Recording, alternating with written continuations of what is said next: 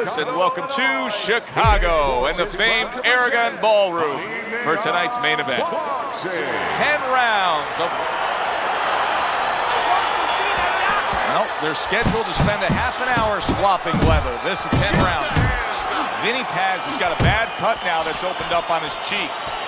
That's a stinging right hand by Vinny Paz. Well, time and time again, we have seen spectacular knockouts that come from a big, digging uppercut. And that's what this fighter possesses here tonight.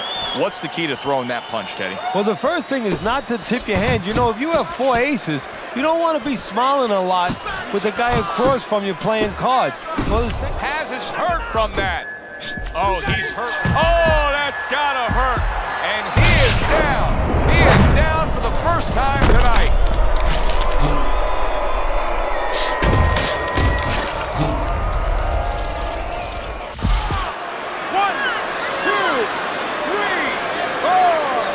Vinny Paz's trainer is thrilled with this. He gets up off the canvas. Now he wants to see how he'll react.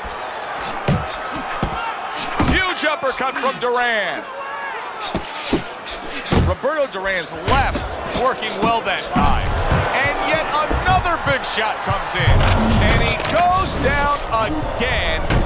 Will he get up from this?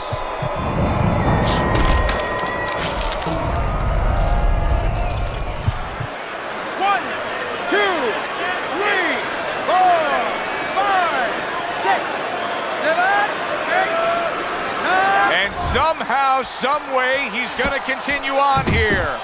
And if he's going to stay in this fight, now he's got to avoid his opponent like the Black Plague.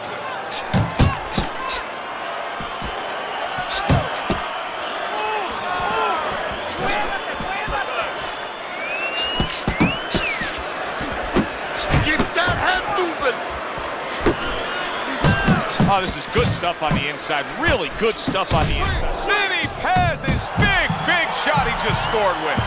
Well, he's been there before, and now he's there again. He got floored. He can't afford to keep going on that floor.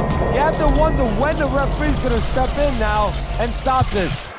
One, two, three, four, five, six, seven, eight, nine. Down he goes, but he's going to continue on, beating the count. Well-targeted two-punch combo by Roberto Duran. End of round one. He can't see out of that eye, Teddy. It is swollen shut, and now the ref is taking a look. And he should be taking a look, and I think he's going to bring the doctor up pretty soon to look at it himself. Duran's right hand scores well that time. Vinny Paz's corner looks like they're creeping up those steps. I think they may want this fight to be over soon. I think they need to be responsible and understand that just like sometimes the tide goes out. The beating has ended. That is enough unanswered punches. The ref stops it. It's a TKO victory. You gotta defend yourself, and he was taking a bad, bad beating. This fight is done.